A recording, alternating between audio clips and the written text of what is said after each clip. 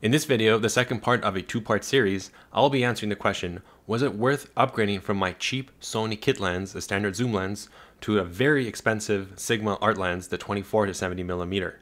Let's find out. In case you missed it, in the first video, I gave an A-B comparison without giving the results of what a kit lens versus a more expensive lens would look like and hopefully you participated and left your comment. If you want to skip to the answers, I left timestamps in the description down below, so just click through it and you'll get the answer. Now before we begin, I just want to talk about my testing methods.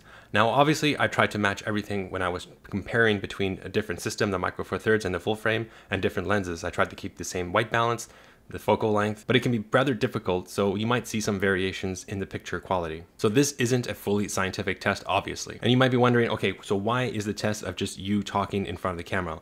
Well, for my specific needs, that is my A-roll. That is something that I film the most often, and that's something that I really care about. If you really want to compare picture quality or contrast and all that stuff, you can go out and take a picture of a brick wall, and that would give you a good sense of how sharp the lens is corner to corner in the center. But for me, that isn't a practical real world example that I would be using these lenses. So with those two disclaimers in mind, let's jump into the test and see the results. So for the first test, I want you to guess which one is a Micro Four Thirds system and which one is using the full frame system.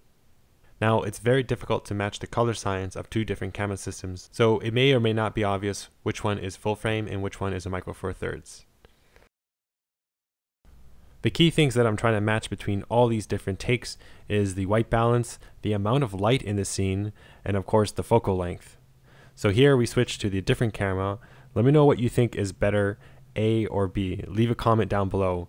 And by better, I mean which one do you think is full frame and which one do you think is the micro four thirds? Now I'm going to be running these A-B clips for quite some time, so if you just want to skip to the next section, obviously like I said many times before, use the timestamps in the description down below so you can skip to certain parts, kind of like chapter links. Let me know what you think is the full frame system versus the micro four thirds system. Full frame is obviously the Sony a7C with a Sigma lens, and the micro four thirds is using the Panasonic G9 with the 12 to 35 f2.8 lens. And here's the answer. A was using the Micro Four Thirds Panasonic G9 system. Now we're going to talk about sensor equivalence. This is a very important topic that I want to cover because you're going to be seeing obviously the Lumix 12 to 35 f2.8 versus a Sigma, which is the 24 to 70 millimeter. Well, in terms of the equivalence, let me explain it really quickly. There is a crop factor because of the sensor size difference between micro, thir micro four thirds and the full frame. Micro four thirds is a crop factor of two. So in terms of the focal length and the aperture rating, you're going to multiply that number by two to get equivalence. But you also need to get the equivalence in terms of the ISO. So ISO is a little more interesting. It's actually the crop factor squared. So all in all, when you do this together, let's say I'm at 50 millimeters on the full frame sensor, that's going to be equivalent to a 25 millimeter. And likewise, at f2.8 on the Micro Four Thirds system, it's going to be f5.6. And then for the ISO, it's going to be 200 to 800. Now, interestingly, I've been getting more light when I'm using the crop factor squared, so I had to dial down the ISO on the full frame sensor to 500 ISO. I hope someone in the comments can help clarify why I have to dial down the ISO on the full frame and I can't use the equivalent formula, which is the crop factor squared. Now I should be using 800 ISO, but I have to dial down to 500 ISO to more or less match the exposure on the on the on the Micro Four Thirds system. And I'm not sure why, but my guess it has to do with pixel density because as you see, the Panasonic G9 has a 20 megapixel on a, a Micro Four Thirds sensor, which is obviously a lot smaller, one, one quarter the size of a full frame sensor. The full frame sensor pixel count on the A7C is 20, I think, I believe 24 megapixels. So the pixel density is going to be a lot larger on the full frame sensor. So perhaps that's the reason why it can absorb more light and therefore I can have a lower ISO and not actually use the crop factor squared law. Anyways, if anyone can clarify this, because I've done a lot of research and I couldn't find the reason why, please let me know in the comments down below. So I'm currently on the full frame camera and I've stopped down to f2.8 and as you can tell the background is a lot blurrier. This is because obviously the shallow depth of field. f2.8 is not the equivalent of f2.8 on a Micro Four Thirds system. It's actually equivalent to 1.4 and I don't have a zoom lens on the Panasonic G9 that can go down to 1.4. So this is where the major benefit comes with full frame. At the extreme ends, you're going to get obviously better low light performance. I kept the environment the same amount of light. I had to lower the ISO to ISO 160 so that should produce a cleaner image than that of the Panasonic G9 with the same equivalent environment with the same amount of brightness. However, when it comes to formatting this and putting this on the internet, I feel like you're not going to see any difference other than the background blur.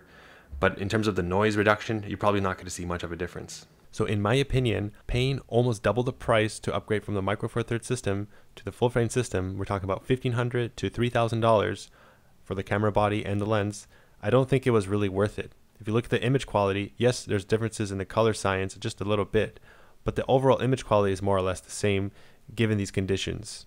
Of course, on the extreme end, if you want that bokeh blur, you probably will be better on the full frame system, but I don't think it's worth paying double the price. However, the price may be justified if you really care about the autofocus performance of the Sony body versus the Panasonic body. Filming yourself with autofocus on a Panasonic camera is almost near impossible and not something you really want to rely on unless you want to use manual focus. In my case, I'm very lazy and I don't want to have to care about setting manual focus all the time when I'm self-filming, so I don't mind paying the extra money to get that autofocus. But if Panasonic had the same autofocus performance as the Sony, I would not ever upgrade from Micro Four Thirds to full frame because in my experience, the image quality improvement is negligible. Okay, so at this point, we're no longer to be comparing the Micro Four Thirds system versus the full frame system. We're just going to be comparing a cheap kit lens versus the Sigma very expensive art lens.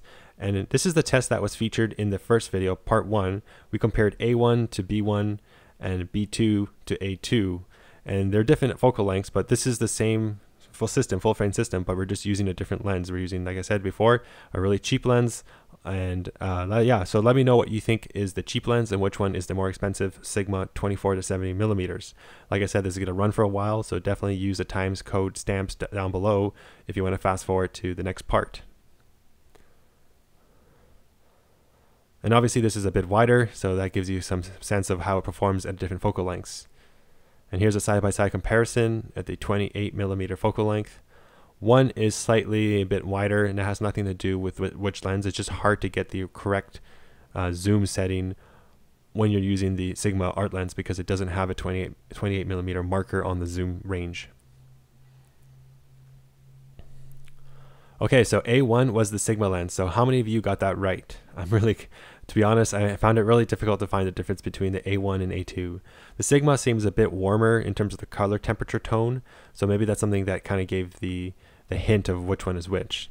Now this is a thousand, one thousand one hundred dollar lens, and the other one is a three hundred dollar lens.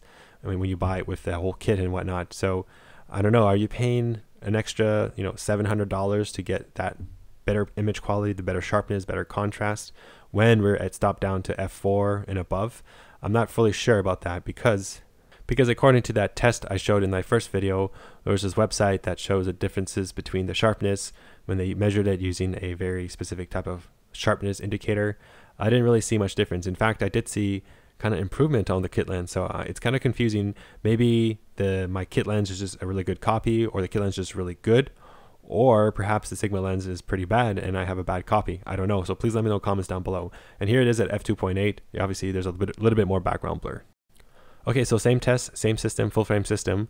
One is the cheap kit lens, and the other one is the very expensive, three times the cost, the Sigma lens. And this is obviously at a tighter focal length at 50 millimeters, so this gives you a sense of how it performs at kind of the mid-range zoom.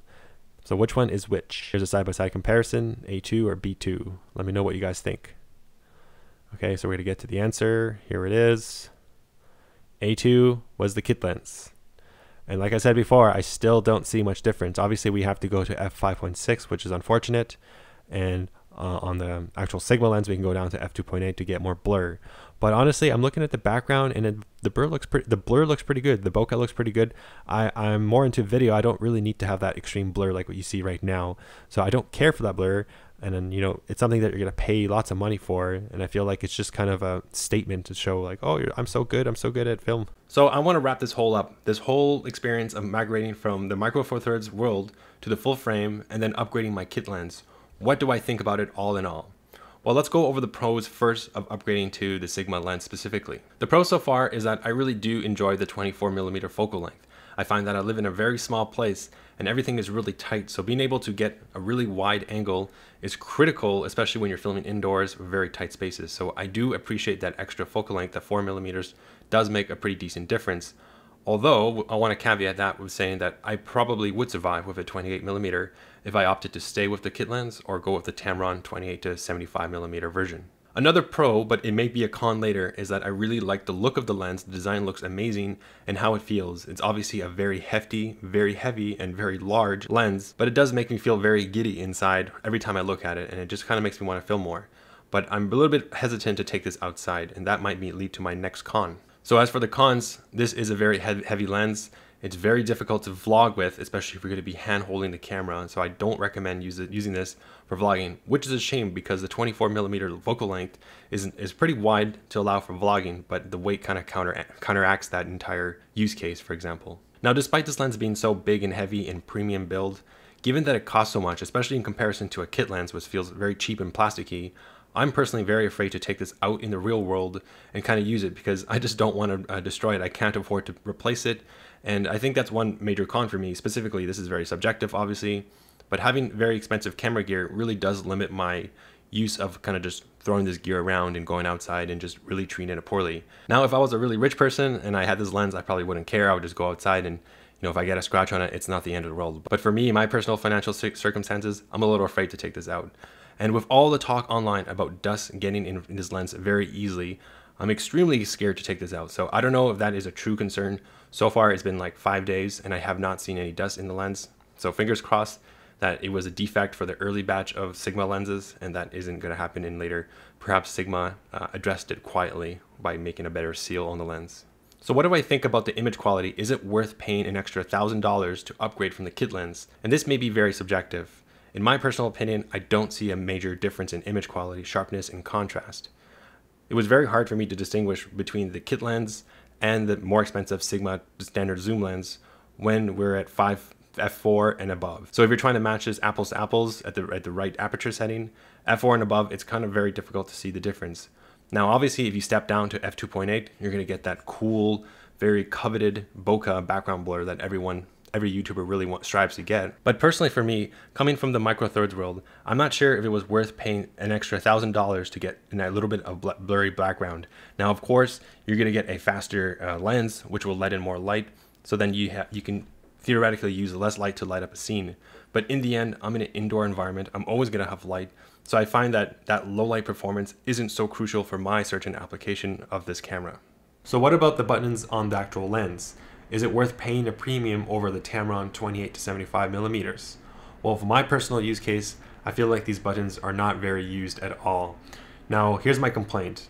Given that the autofocus on the Sony a7C is so good, I won't be using manual focus that often. Now, obviously I'll be using it if I want to pinpoint the focus point, specifically when I'm behind the camera. But most of, the, most of the time, I'm going to be in front of the camera and I have no way to control the focus. So I feel like that button is not a big deal and it's okay to go into the function manual to switch between manual and autofocus. Now in terms of the other button, the custom C1 button on the lens, I thought I could use that lens to quickly toggle between steady shot on and steady shot off or stabilized versus non-stabilized. But unfortunately, it doesn't do that. There's no way to toggle that option, which is really annoying because this is something that I've been accustomed to in my previous Micro Four Thirds camera lens where you're able to mechanically turn off the stabilization for both the lens and the body. Sony doesn't give you the option to toggle between stabilization and on and off. Instead, you see a little prompt where you can swap between on and off and you have to use the directional pad to move up and down to select the correct stabilization setting you want.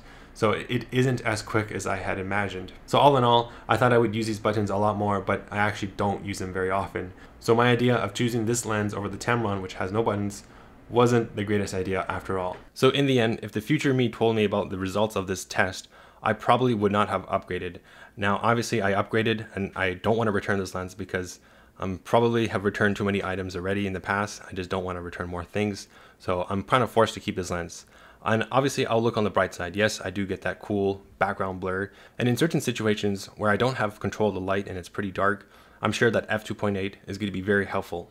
The one specific use case where I can see using this faster lens going to be very helpful is if I want to use the post-production stabilization in Catalyst browser. In order to use that, you'll have to crank the shutter speed really fast and that will let in less light. So being able to have that faster aperture is going to be very beneficial if I want to stabilize my footage using the gyro data in post-production. Anyways, that is my conclusion of upgrading from my kit lens to the Sigma 24 to 70 millimeters. Please let me know what you guys think. If, if I was wrong in the image quality, the sharpness test, maybe I'm not seeing things. Maybe the YouTube compression is making things very hard for me to see, but from my perspective, it wasn't a great update, and obviously I I don't regret it, but maybe I could have used that money elsewhere. Thanks for watching, and I'll see you in the next video.